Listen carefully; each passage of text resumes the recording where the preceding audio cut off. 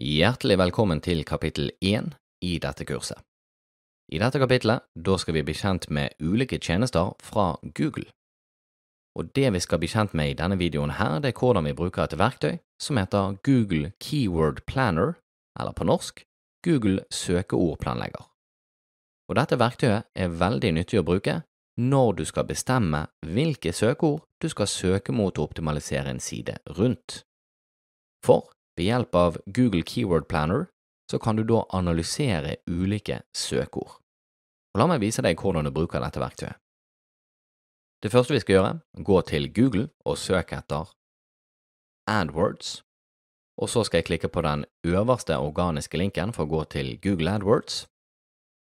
Deretter klikker jeg logg på, og når jeg har logget på, så skal jeg da gå opp i menyen og klikke på verktøy her oppe og deretter ned til søkeordplanlegger. Og da kommer vi til verktøyet. Og dette verktøyet det har to interessante muligheter. Den ene heter Få søkevolumdata og trender. Og her står det da Skriv inn eller last opp søkeord for å forske på histor historisk statistikk eller gruppere dem i annonsegrupper. Så det er den ene. Så her kan jeg legge til søkeord og få da statistikker som viser hvor mange som bruker disse søkeordene i Google. Og den andre heter da Finn nye søkeord ved hjelp av et uttrykk, et nettsted eller en kategori, og jeg skal vise deg begge disse her. Men la meg begynne med denne her. Det jeg har lyst til å gjøre nå, nå skal jeg legge til tre søkeord, Excel, PowerPoint og Word, og så skal vi se hvilke av disse søkeordene får mest, eller hvilke av disse søkeordene blir mest brukt på Google. Så da begynner jeg. Excel, PowerPoint og Word, og da er det ett søkeord per linje. Og jeg kunne gjort sånn som dette. Hvis jeg ville sammenligne disse søkeordene. Og nå er det igjen tre søkeord.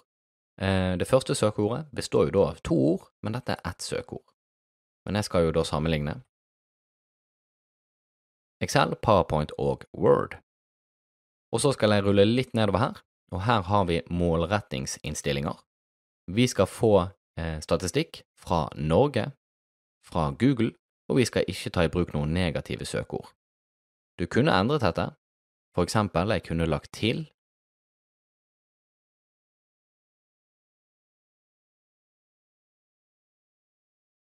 Danmark, Sverige, Norge, eller jeg kunne for eksempel gjort sånn som dette, alle steder, men i mitt tilfelle så har jeg lyst til å få statistikker fra Norge. Ok. Og datoperiode, denne viser automatisk eh, tolv eh, måneder, men jeg har lyst til å utvide denne sånn at vi får mest mulig informasjon. Så jeg går hele veien tilbake til juni 2014. Og da er jeg klar, og da klikker jeg på Få søkevolum, og da begynner verktøyet å jobbe. Ok, så la oss begynne med å snakke om denne saken her. Her får vi da søkevolumutvikling for alle disse søkeordene kombinert. Så da kan vi se hvilken periode der søkeordene er i mest bruk. Og vi kan med en gang se at dette er det laveste perioden, juli 2015. Og da vil jeg tippe at dette her er òg juli. Ja, det stemmer. Så da vet vi med en gang at denne perioden her er ikke en periode der veldig mange søker etter Excel, PowerPoint eller Word. Skal vi se, her er det en høy periode, det var november mars, mai, november, januar, februar, mars, april, mai. Ok, så her er utviklingen. Vi kan også endre dette her. Istedenfor søkevolumutvikling, så kan vi gå da på utvikling for mobile enheter. Og det blå er da eh, søk som ikke kom via en mobil, og det som er lilla her, er da søk som kom via en mobil. Og som du ser, denne her øker.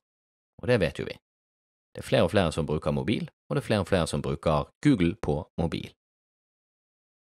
Så har vi fordeling etter enhet, og her ser vi da 74% søkte via en datamaskin, 17% via en mobil enhet og 8,6 via et nettbrett. Fordeling etter sted, fordelt etter fylke, Oslo 22% Akershus 10% Hordaland 10 Vi kan gå etter kommune. Bergen, Trondheim, Stavanger. Eller etter by. Oslo leder, vil jeg tippe. Ja. Oslo eh, har da 21,2% Bergen har 4,7, Trondheim 2,9, Stavanger 2,5, osv. Og de tre siste er ikke så interessante. Så la oss gå tilbake til søkevolumutvikling. Så dette er da den utviklingen til alle søkeordene gruppert. Hvis jeg ville kun hatt søkevolumet til Excel, så hadde jeg fjernet disse to og klikket Få søkevolum, men det skal ikke vi gjøre helt ennå. Under her så har vi da forslag til søkeord. Og Her har vi da Word, Excel, PowerPoint. Gjennomsnittlig antall søk per måned. I gjennomsnittet ser du Word brukes oftest. 9990 søk i gjennomsnitt inneholder ordet Word. Og det kan være fordi det er noen som søker etter noe som eh, for eksempel ordet Word kan brukes i andre sammenhenger enn når folk nødvendigvis mener Microsoft Word. Så det er viktig å eh, kjenne til. Men et, ja, Excel kan jo òg brukes i andre sammenhenger enn Microsoft Excel. Du kan for eksempel si Excel at math, for eksempel, eller Excel at uh, leadership. Men PowerPoint er vel det ordet som jeg tror Hvis noen bruker ordet PowerPoint, så mener de antagelig Microsoft PowerPoint. Hviler jeg musepekeren over denne, dette ikonet som ser ut som en graf, så får vi da denne informasjonen her. Ser du? Og da kan vi se juli minste periode og juli minste periode, og her er det veldig mange som har begynt å søke etter noe som inneholder ordet Word. Så har vi Excel. Minste periode juli-juli, ikke overraskende.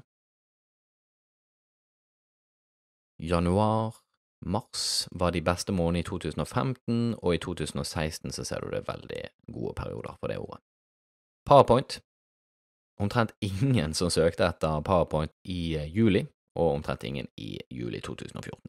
Beste periode november 2015, april 2016 Ok. Så da har vi fått litt informasjon om dette. Her står det òg konkurranse. Og hva betyr det?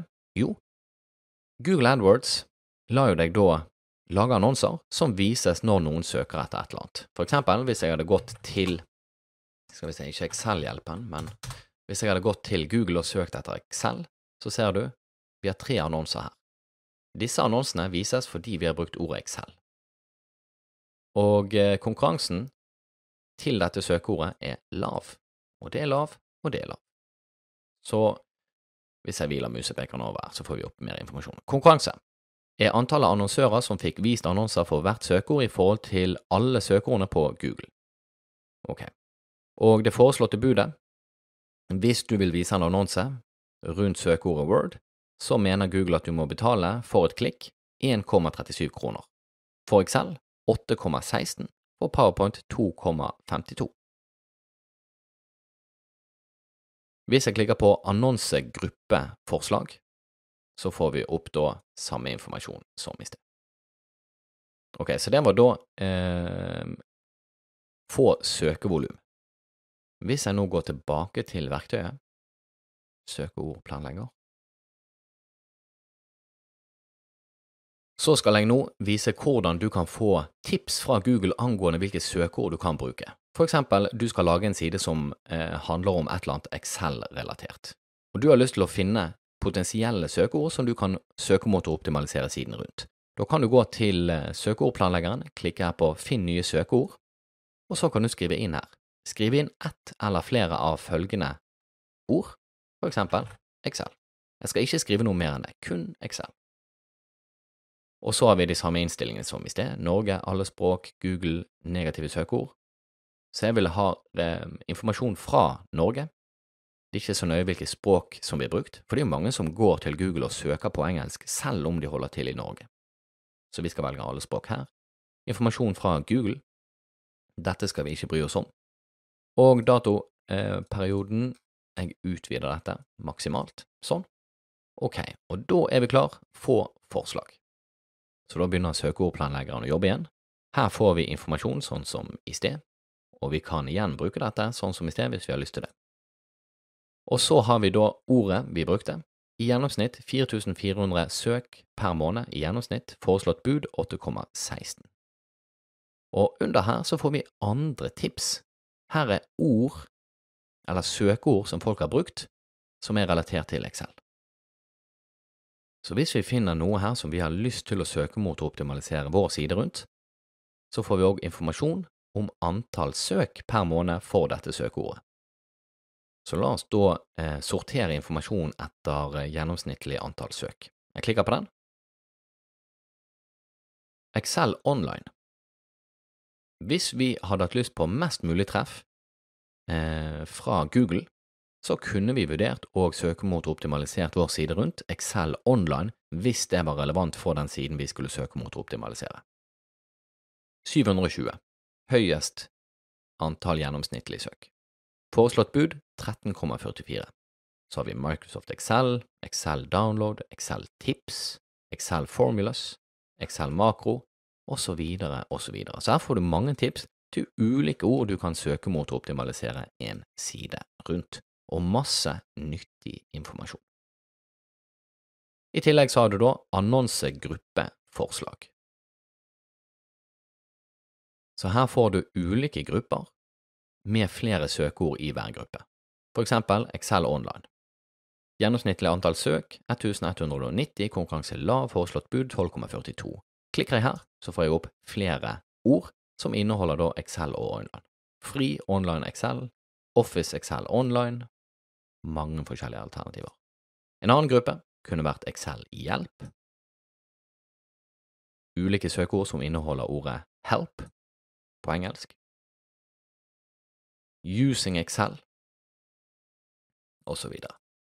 Ok, og dette verktøyet her, det bruker jeg sjøl veldig ofte. Hver gang jeg skal søke mot å optimalisere en side, så går jeg alltid inn på søkeordplanleggeren, og så, i hodet mitt, så har jeg allerede bestemt meg for ulike søkeord jeg ønsker å søke mot å optimalisere en side rundt, men jeg tar alltid og går til søkeordplanleggeren, ligger til søkeordene jeg har vurdert, for å evaluere søkevolumet, og i tillegg for å få tips fra søkeordplanleggeren angående andre søkeord som jeg kanskje burde tatt og vurdert.